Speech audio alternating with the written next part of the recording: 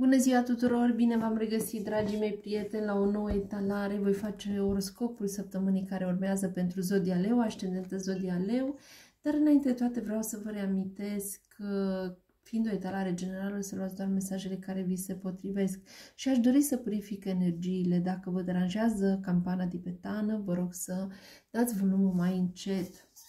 Haideți să începem!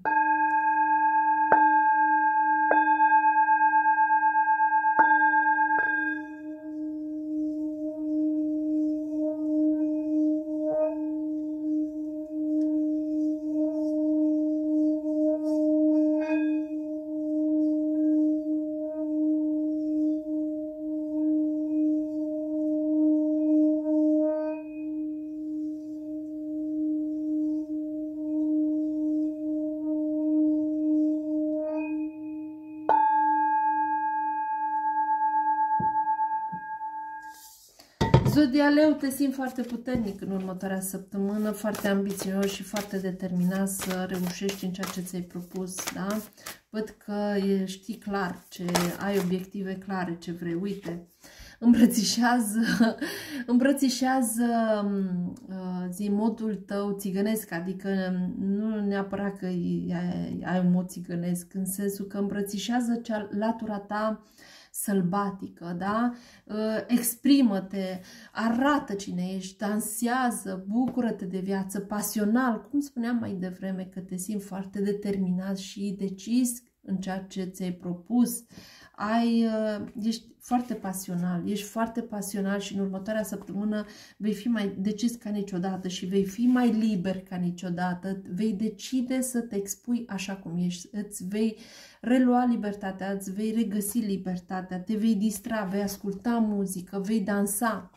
Sunt chiar curioasă, poate chiar mergeți la o petrecere sau uh, nu știu, dar vă văd că vă distrați, dansați și uh, persoane cu părul lung în jurul noastră, brunete, zodia leu, dar văd foarte multă pasiune și foarte multă uh, libertate. Uitați aici că văd că veți, a, vă veți, aveți deja un plan în mintea dumneavoastră, aveți un scop, cum spuneam la început, aveți un scop și văd că veți avea parte de ghidare pentru a vă îndeplini acel scop și văd foarte multă hotărâre și vă gândiți foarte bine mental Uh, cum să faceți, văd, mentalul dumneavoastră este foarte clar și uh, doriți să, ajung, să atingeți ținta, să spunem așa, da? Și văd că aveți o persoană, dacă nu mai este o persoană iubită, dragă, lângă voi, poate să ridica la cer, spiritul acelei persoane vă ghidează, vă stă alături. Poate acea persoană a fost într-un semn de aer, gem în balanță vărsător, o persoană dragă vouă, vă stă alături, să știți, și vă ghidează în uh, ceea ce v-ați propus. Vă ghidează în ceea ce v-ați propus în scopul care, scopul care îl aveți dumneavoastră și doriți să-l atingeți, vă ghidează.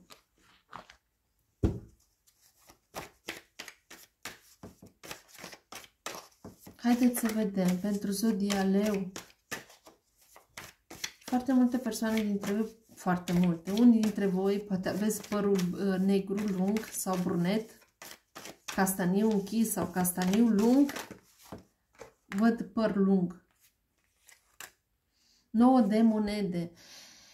Văd că, din nou văd aici plăceri, vedeți că această poză, plăceri, vă veți bucura de libertate, vă veți bucura de momente libere și vă veți face ceea ce vă place, veți dansa, adică vă veți face plăcerile sufletului, inimii și văd că uh, veți avea parte de momente liniștite, momente de reflexie și chiar de uitare de responsabilități, le veți da la spate responsabilitățile și vă veți simți liber să vă cumpărați ceva nou, să vă schimbați garderoba, să faceți o schimbare de look, dar văd, vă văd echilibrat și foarte încrezător și chiar dacă ați avut probleme de sănătate sau disconfort fizic, văd vindecare pentru voi. Uitați aici steaua. V-am spus, zodia vărsător, poate aveți ascendent sau luna în zodia vărsător, balanță, gemen sau o persoană, o femeie care nu mai e sau bărbat, în zodie de aer, gemen, balanță, vărsător, vă e alături. Steaua aici îmi spune că veți petrece, vă veți bucura din nou petrecere, ia uitați. chiar să curioasă ce petreceți. Uh, petrecere, adică veți lăsa trecutul în spate și veți, vă veți face planuri de viitor, vă veți face vise de viitor, aveți foarte multă speranță în, aceleași, în acele visuri, aveți protecție divină, renaștere, renoire, vindecare pentru voi, da? Uh, vei trăi un moment minunat și vei vedea că dificultățile au dispărut și vei vedea lumina la capătul tunelului. Veți vei face proiecte pe termen lung, să ai încredere că va fi totul bine și într-o colaborare trebuie să iei o decizie aici, să colaborezi cu cineva, că acest lucru te va duce la, la progres, da?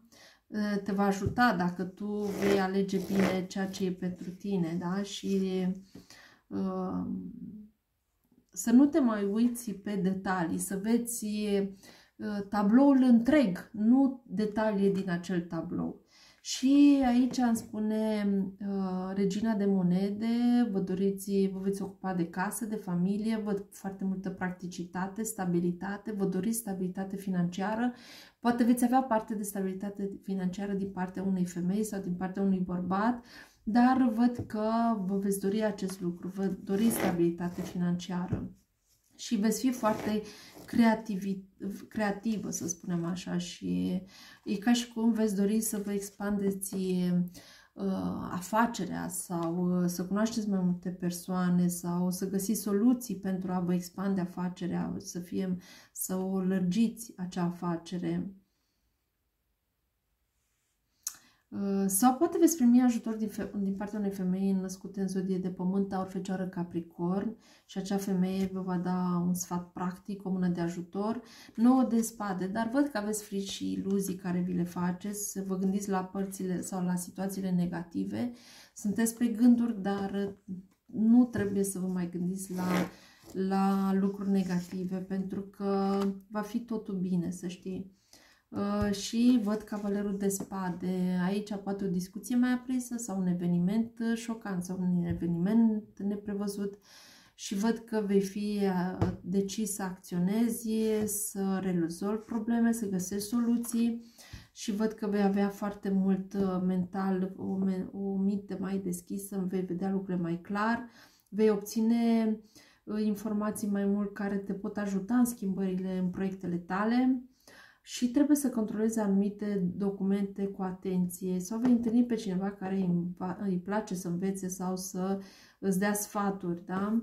Uh, este o persoană sinceră, e mai puțin diplomatică, dar e sinceră această persoană. Haideți să vedem și regele de cupe, un bărbat uh, matur, da? care uh, va fi alături de tine, îți va da un sfat, te va ajuta un bărbat uh, onest, să spunem așa, sau poate chiar tu vei fi acea persoană unde această situație în care vei fi în următoarea săptămână va cere o uh, maturitate emotivă și o încredere totală. Da? Este poate ajutor din partea unui bărbat altruist și generos uh, în care poți să contezi pe, acea pers pe această persoană. Haideți să clarificăm aceste cărți pentru Zodia Leu pentru zodia leu. Nu mai sta pe gânduri că n-ai de ce să te preocupi, n-ai de ce să-ți faci griji, că vei găsi soluții la problemele tale. Uite, trebuie să fii înțelept. Trebuie să mm, să ai o gândire pozitivă, să fii mai înțelept, să fii mai înțelegător, pentru că destinul tău văd că se va îndeplini. Da? Buddha aici îmi spune că ești creatorul vieții tale și vei fi creatorul vieții tale. Și îmi spune că hmm, ai nevoie să-ți faci anumite tratamente energetice pentru că văd că ai persoane vampire în jurul tău, vampire energetici care te suc de energie Uh, care au nevoie să vorbească cu tine, să fie în preajma ta și să le dai atenție, dar ei prin, mod, prin acest mod se hrănesc prin energia ta.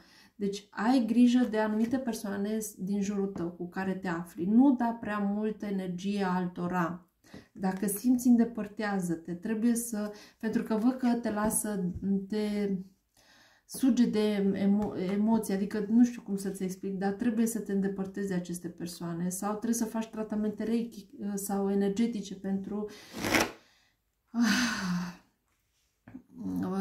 sunt anumite persoane obositoare în jurul tău și ai nevoie să te eliberezi de acest lucru, să-ți găsești pacea, echilibru interior.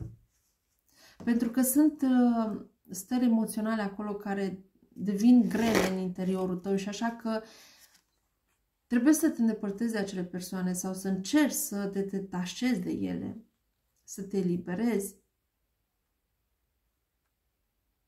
Și văd că vei primi invitații, da? Vei primi mesaje, invitații din partea unei persoane și vei ajunge la o concluzie, vei uh, face o colaborare, vei face un angajament cu o anumită persoană.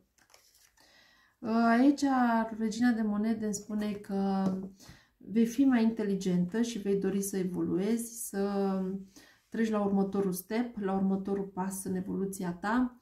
Uh, unii dintre voi poate a studiat sau chiar uh, văd aici un premiu, un triumf, o diplomă sau poate dori să învățați, dar văd că vi se vor recunoaște meritele, nu știu, la locul de muncă, la casă sau meritele în, dacă ați studiat sau văd că veți învăța ceva nou.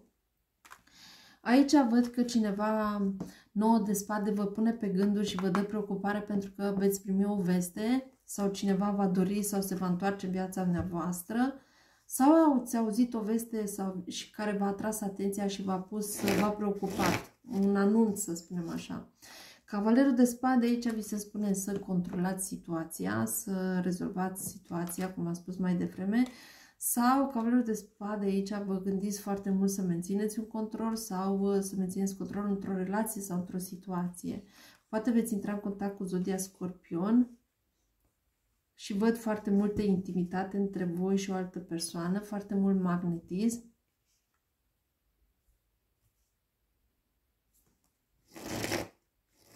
Sau nu, vă, nu aveți încredere în cineva, credeți că sunt lucruri ascunse și veți încerca să controlați să aflați pe, în detaliu și printr-o discuție clarificatoare. Regele de cupe văd că uh, veți avea parte de o viață liniștită. Veți, din partea acestui bărbat, văd că este un bărbat care vă oferă protecție, vă oferă dragoste, vă oferă... Uh, aveți anumite, cum să zic eu, momente de plăcere, Uh, veți fi mai gentil sau această persoană e gentilă cu dumneavoastră și văd că vă oferă, vă nutre sufletul sau uh, vă oferă protecția și vă oferă o viață um, de, o viață de pace, să spunem așa, o, o viață liniștită. Ia uite ce frumos!